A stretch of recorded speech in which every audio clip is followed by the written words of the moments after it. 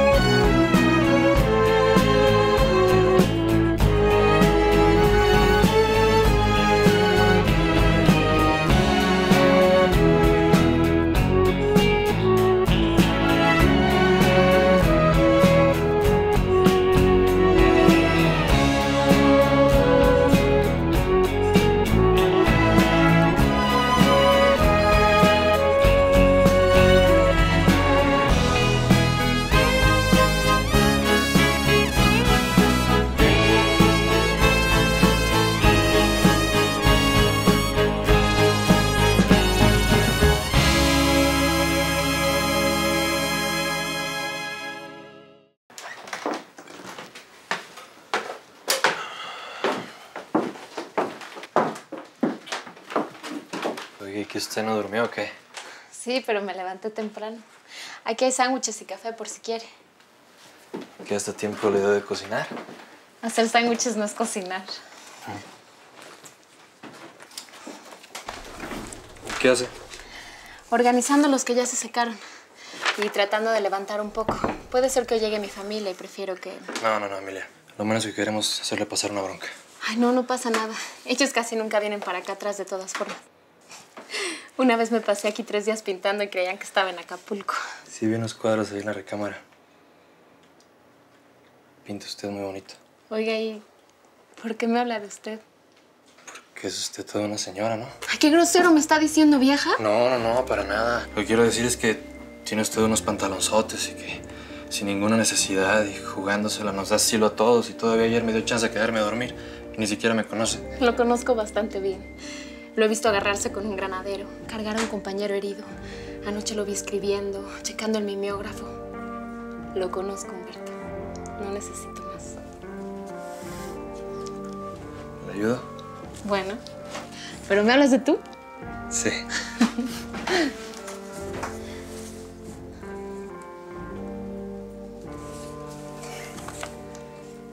Señor embajador, ¿qué más garantía necesita usted que la palabra del presidente de México? Todo indica que su sucesor será Nixon y espero encontrar en él un amigo con muchos menos miedos. No viene el pinche gringo. Bueno, señor, eso yo ya lo daba por hecho.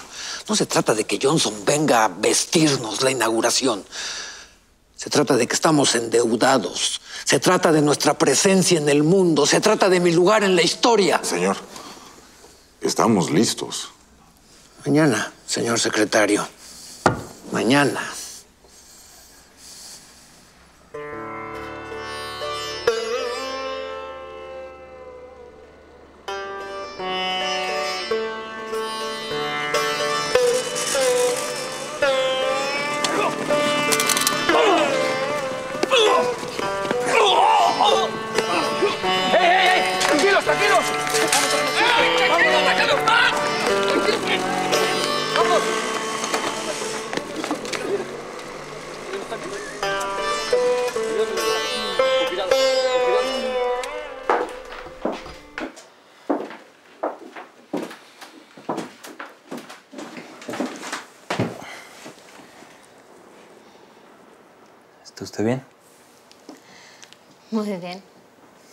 ¿Y otra vez de usted? ¿Está contenta? Y dale. Muy contenta. ¿Y usted? Contentísimo. Y muy agradecido. Ay, no seas baboso. Me estás dando las gracias por... ¿Qué? ¿Me vas a querer pagar también o qué? No, no, no, yo aunque quisiera no tengo dinero. Óigame, Humberto. Además, aunque tuviera el dinero, no hay millones que alcancen.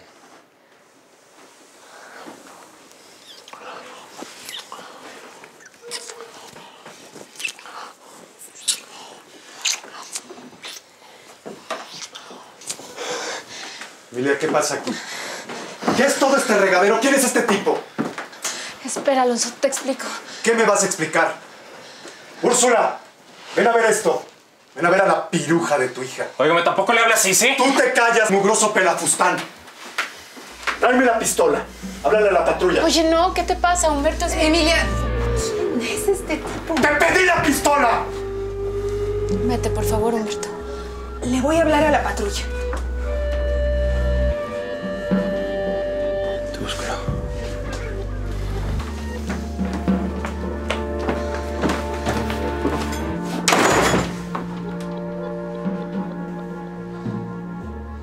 Te lo dijo? César Carranco me acaba de llamar.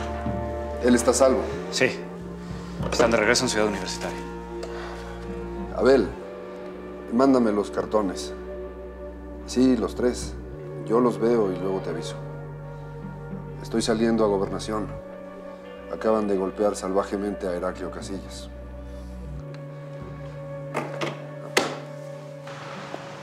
Félix, Félix, Félix. Yo, güey. ¿Qué haces aquí? ¿No vengas otra vez con la cantaleta de que me regrese al pueblo, Paco? Cada quien ya decidió que anda con su vida, ¿no? Cuando te fuiste me iba a pegar un tiro. Paco, el que se quiere pegar un tiro se lo pega, así nomás. Ya ves que no. ¿Y sabes por qué? Porque mi mamá me encargó que te cuidara. Mira, carnal, no me estás entendiendo. Yo solo... Félix, no quiero que vayas mañana a Tlatelolco, por favor. Nos vemos. Cuídate.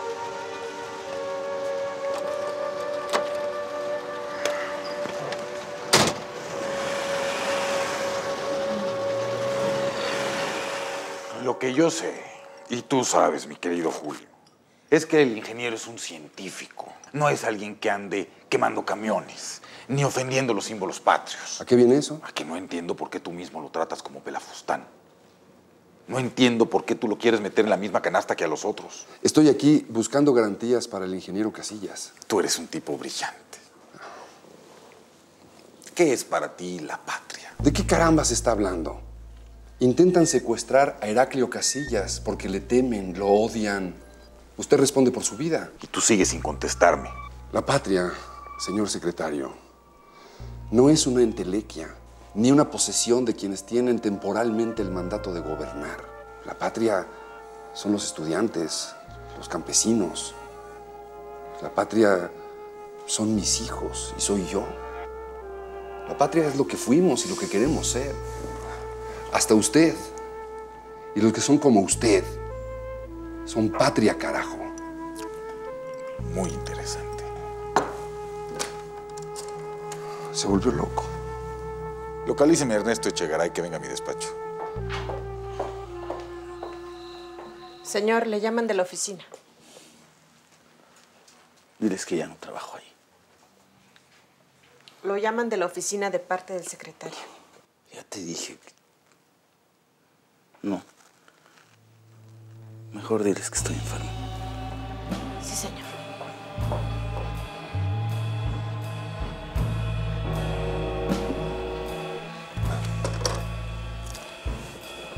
La patria no es una entelequia.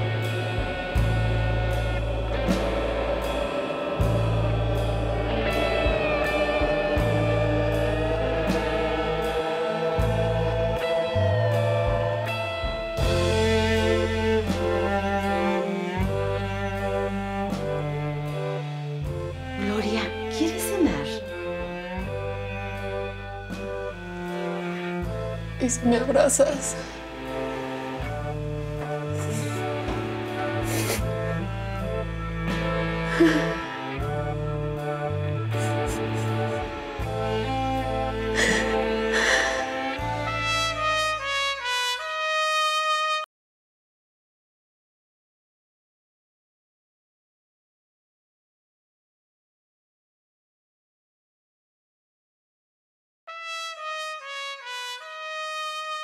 Me dijo que lo encontró loco. O haciéndose loco. Como sea. Es igual. Es el secretario de Gobernación. La prensa asegura que él no puede ser el próximo presidente de México. Le falta talento. Pero le sobra iniciativa. Es un hipócrita. Está haciendo su luchita por quedar bien con el patrón. ¿En qué puedan matar al ingeniero? Es amigo del expresidente. Pero todo depende. ¿De qué? ¿De quién está detrás de todo esto? ¿Cancelamos la marcha? Por supuesto que no.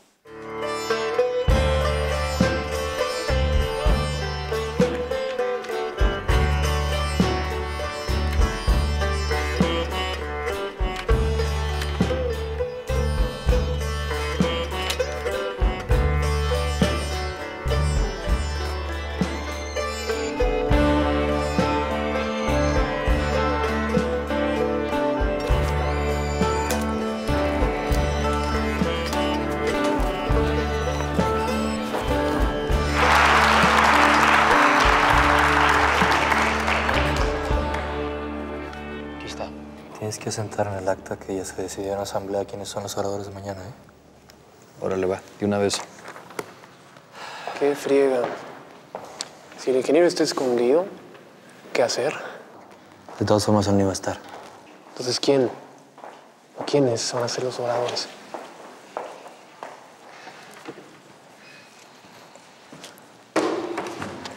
¿Tú qué arrancó? ¿Dónde vas a estar? No sé. No podía estar sin usted. Además, tenemos una cita mañana en Tlatelolco, ¿no?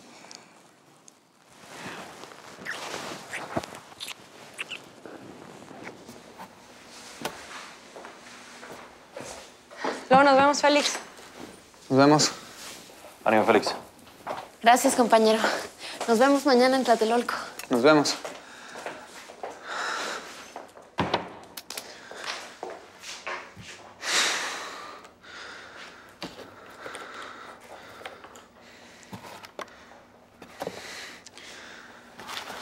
Félix, Ana María, ¿cómo me encontraste? Pues aquí nos conocimos, ¿te acuerdas? Sí. Me dijiste que esta era nuestra casa.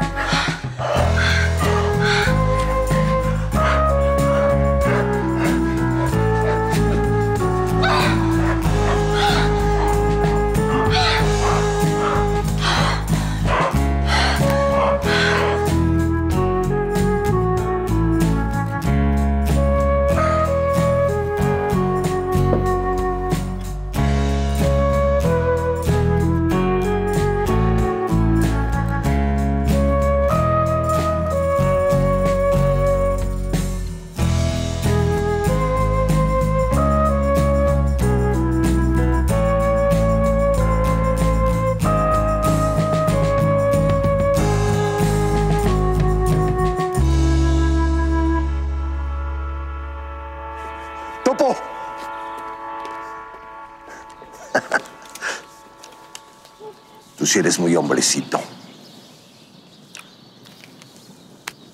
Mañana te doy el resto.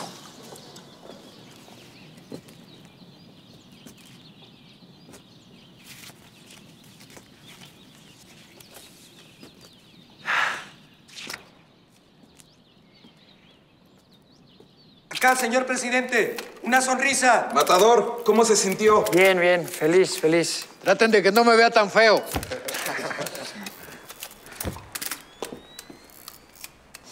Yo cumplo, Julio. El ingeniero está desaparecido y nadie lo está buscando.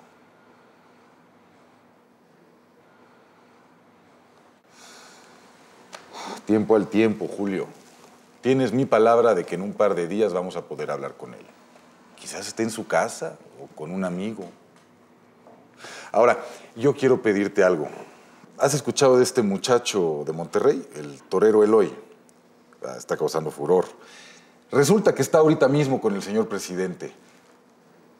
de parte de él y mía, te ruego destacar este encuentro en el periódico. Una nota amable que tanta falta nos hace. Dando y dando, querido Julio. Te lo agradezco. Qué perversidad. ¿Se puede saber por qué? Me piden que destaquemos una nota del presidente como gran conocedor de la fiesta taurina. ¿Lo es? No, por supuesto que no. Está haciendo lo que mejor sabe hacer, que es provocar, hablando de faenas, muletazos, estocadas. Julio, ¿no te parece que le estás dando demasiada agudeza al tipo este? El odio nubla los sentidos o los afina. Hay más de una evidencia en la historia. ¿eh? ¿Querés que ponga algo de esto en lo que voy a enviar? No, no, al contrario. Tú no estuviste aquí, tú no oíste esta conversación, tú no me oíste a mí, ¿entendido, Pilar? Quiero que te cuides.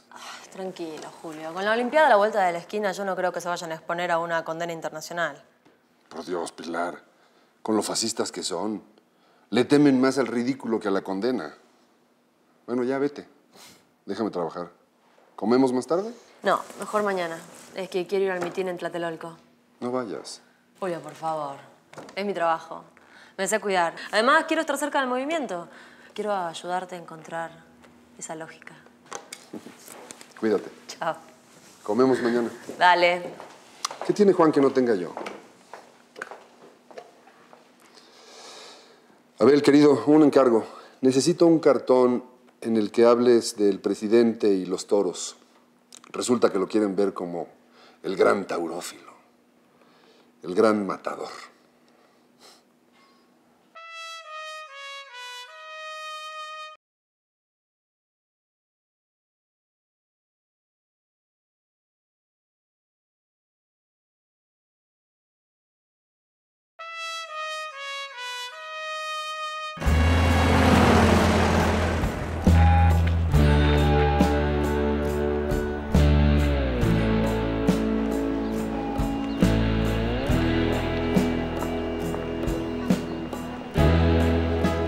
Estas son las llaves de los departamentos en Ciudad Tlatelolco. Ahí va a colocar a los elementos del batallón Olimpia. Sí, señor.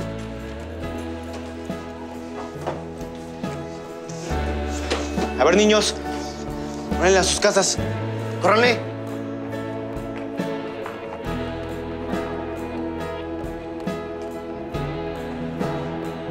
Ahora escuchemos por favor a una de nuestras compañeras más comprometidas y más combativas en esta lucha.